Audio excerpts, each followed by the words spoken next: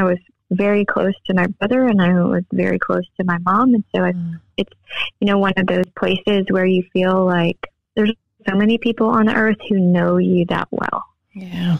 And when you lose two of them so close together that it, it just kind of, you almost don't know who you are because part of you feels like you're, it's missing that these people who knew me aren't there anymore Yeah. um, who knew, you know, all the struggle from my past, who knew all of the, the mistakes, the good times, the bad times, and just and loved me anyway. Yeah. The Um, becoming of you, like they knew the whole story. Yeah.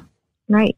Yeah. So that it was similar in that regard of just you know losing that feeling of being known and the opportunity to draw close. But with my mom, there was a whole other element that I wasn't really expecting.